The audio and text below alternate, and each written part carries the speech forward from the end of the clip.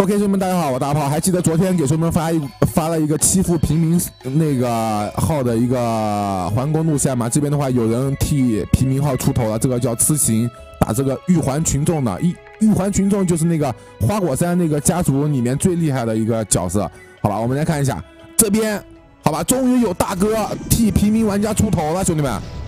OK，这边的话，大哥的话也是一个天宫号，两边的话都是六十九级。好吧，因为身上面的话都是有法法宝的一个圈圈，我们来看一下这边这个天宫号能不能替平民玩家出头。这边的话天宫号也是一个青花石加无级别，对面的话也是天宫号，两个天宫互互打，就有些不明白兄弟这一这一把环攻事情起因的兄弟，可以去看一下我十十二月五号发的一个作品，好吧？对面家族里面有一个花果山兄弟欺负平民玩家，约平民玩家打环攻，对吧？就连药都不吃的那一种，好吧，我们来看一下这这一把，终于有大哥出头了，好吧。两个天宫，对面一速天宫，关山帆的话是一个二速天宫，嗯，两边的话，哇，这边天宫啊，看样子是老打环攻的，有吸血特技，对吧？吸血的话可以吸对面的一个五分之一，不过的话，天宫跟天宫打 PK 啊，其实说天宫跟天宫打 PK 打打到后期的话，还是看两边的一个宝宝。宝宝的一个情况，看两边宝宝谁的宝宝品质更好一些。因为本身天宫跟天宫这个门派，对吧？低等级又没有什么灵宝啊，什么七七八八的，对吧？就看两边宝宝谁能顶得住。因为他这个封印又不像什么催眠啊，什么封住就不能动，对吧？封住反正可以动，对吧？被封住就丢丢飞镖，对吧？所以说的话，这一把 PK 的话，应该要看两两边的一个宝宝的一个情况，谁的宝宝先用完，好吧？我在这边宝宝宝跑了，好吧，宝宝没有跑跑掉，不过差不多了。哦，对面用五连红顶，这边应该要给宝宝顶个药，顶了个一千六的药。两边的话都没有药品的话都没有用特别好的药啊，都都是用一些比较低品的大金。就因为这边的话也是一个出头的局嘛，也没有打什么梦幻币什么的。你你像他们那些对吧？幺七五打梦幻币一个大金吃。六六六七千点血，就所以说的话，这边的话也没有选择用那那种特别豪华的一个大金。两边的话，药品的话也差不多，对吧？关键他用的稍微多一些，对面的话药品稍微用的少一些，因为对面的话用了几把五雷轰顶嘛。OK，我们来看一下两边青宝宝，对吧？这边的话是有无级别，你这边的话肯定是，对吧？从颜值来说的话，青花瓷，对不对？加一百二的一个关武，对吧？比较帅气。对面的话好像是一个，对面这个武器是无级别吗，兄弟们？是一个七十级的武器还是九十级的秋风啊？看起来好像像一个九十级的秋风，好像，但是感觉又不太发光的那一种感觉，看起来好像有点像那个秋风的那个造型啊，兄弟们。OK，这边的话，宝宝的话，关山帆暂时领先一个宝宝，但是药品的话，关山帆，嗯。得节约一点了。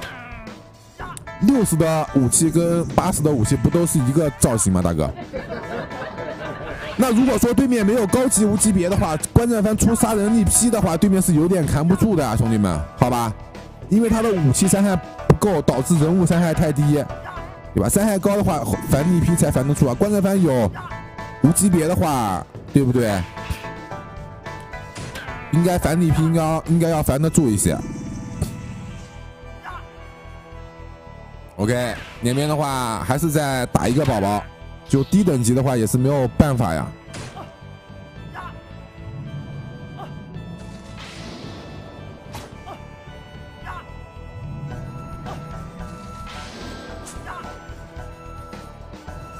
低等级也是没有办法。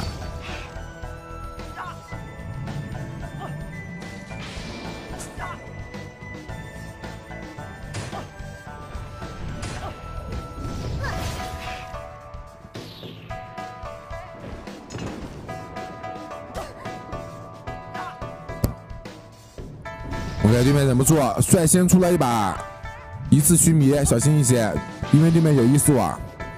出这种一次须弥的话，连出几把的话，对面是有机会把关山帆冲掉的，好吧？我们来看这个宝宝能不能，哦，不要不要抢哦，一把壁垒可以。一般啊，现在以前这种一次顺法啊，这种须弥宝宝，以前这种宝宝的话，基本上加点方式的话，都是一个。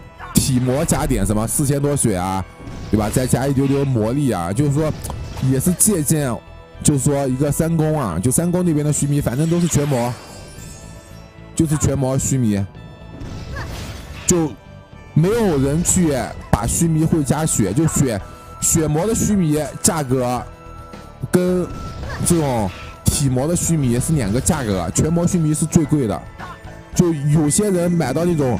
血魔的一个须弥啊，还要吃如意丹，把那个体力点给洗下来，来加魔力，好吧？我跟你们说，硬件好的一个须弥啊，就技能好的一个须弥啊，是不用加体质的，你你懂吗？就一般来说的话，都会有高级敏捷，然后宝宝装备的话是加灵力跟加敏捷的，就等于说跟血须弥是一个道理，但是伤害要比血须弥要高很多。就等于说我这一会儿把须弥拉过来，对不对？拉出来，就只要对面。单回合没有把我须弥清掉，那我下回合的话，我须弥高敏捷，比你一般的壁垒宝宝速度是肯定要快的。